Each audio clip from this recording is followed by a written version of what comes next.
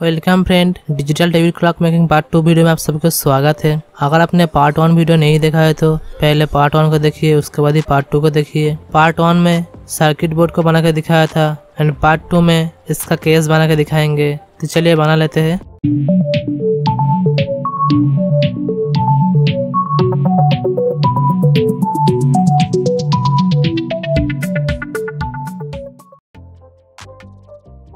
यहाँ पे मैं इस्तेमाल कर रहा हूँ पीबीसी प्लास्टिक को। आप चाहो तो यहाँ पे एमडीएफ बोर्ड भी इस्तेमाल कर सकते हो।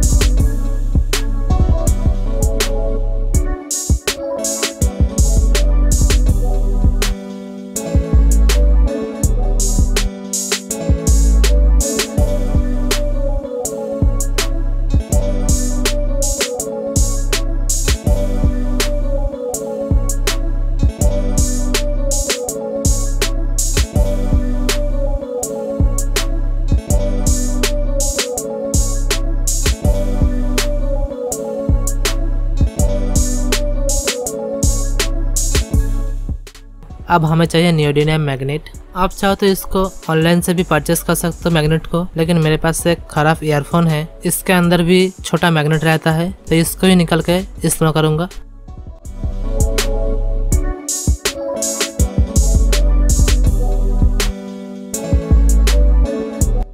देखिए, यह है वो छोटा मैग्नेट। इस मैग्नेट के साथ ही एक पतला सा मेटल का प्लेट रहता है सेम साइज़ का। उसको पहले अलग कर लेना होगा। देखिए, इस तरह का सेम साइज़ का एक मेटल का प्लेट मिल जाएगा। इसके साथ ही यहाँ पे दोनों ही ज़रूरत है, मैग्नेट एंड स्मॉल प्लेट उसके बाद अच्छे से क्लीन कर लेंगे।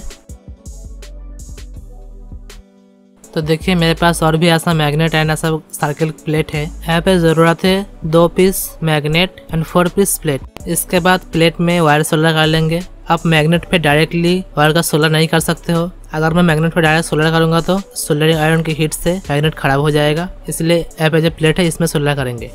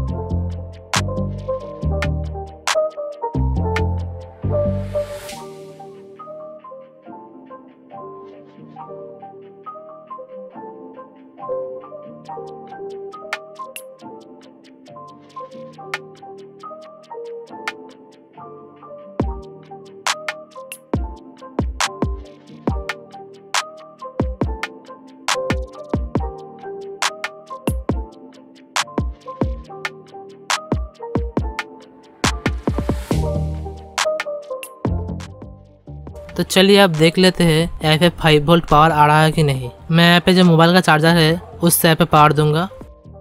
तो आप देख सकते हो यहाँ पे फाइव वोल्ट पावर आ रहा है। टाइम के एडजस्ट करने के लिए यहाँ पे ज़रूरत है थ्री बटन स्विच तो यहाँ पे बैक साइड में मैं थ्री होल्ड कर लेता हूँ बटन स्विच को सेट करने के लिए।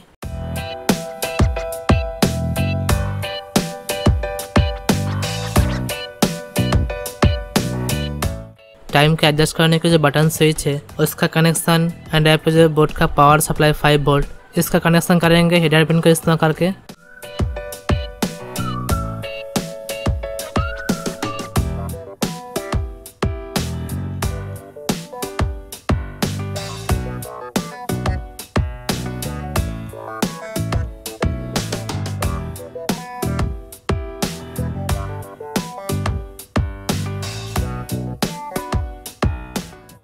एंड यहाँ पे जो बाकी बॉडी है, इसमें पेंट नहीं करूँगा। यहाँ पे रैपिंग पेपर इस्तेमाल करूँगा। मैं इसका अमेजन से ख़रीदा हूँ। आप भी इसका ऑनलाइन ऑर्डर कर सकते हो।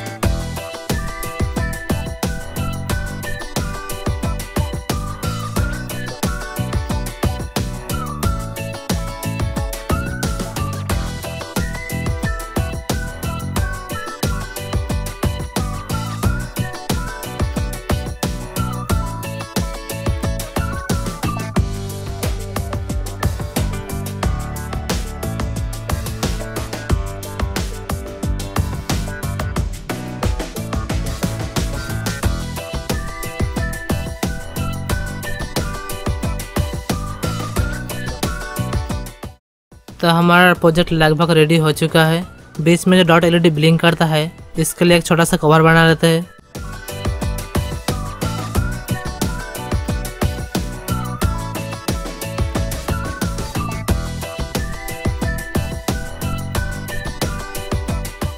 तो देखिए, अब कितना अच्छा लग रहा है।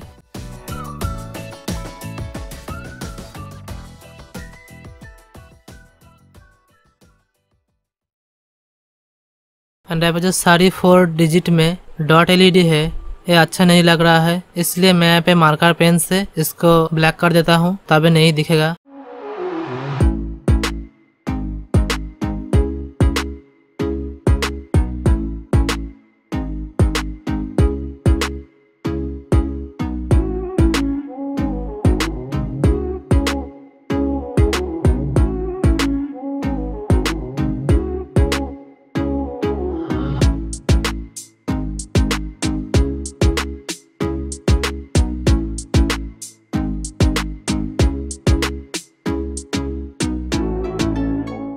इसको पावर देने के लिए मैं यहाँ पे इस्तेमाल कर रहा हूँ फाइव वोल्ट का मोबाइल चार्जर। यहाँ पे जो पहला बटन है, इसको प्रेस करते ही टाइम सेटअप मोड ऑन होगा। उसके बाद दूसरे बटन से हावर्स को सेट कर सकते हो, एंड तीसरे बटन से मिनट को सेट कर सकते हो।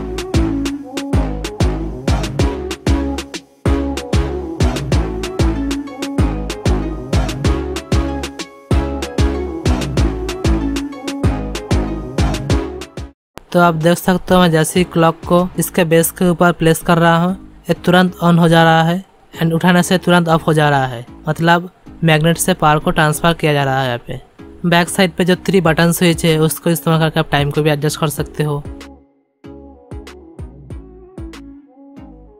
तो हमारा प्रोजेक्ट हो चुका है कंप्लीट सब कुछ सही से वर्क कर रहा है। इस प्रोजेक्ट का सारा file code circuit diagram description में मिल जाएगा। आप वहाँ से देख सकते हो। वीडियो आपको कोई दिक्कत आता है तो कमेंट कीजिए। मैं रिप्लाई देने की कोशिश करूँगा। वीडियो कैसे लगा कमेंट में ज़रूर बताइए।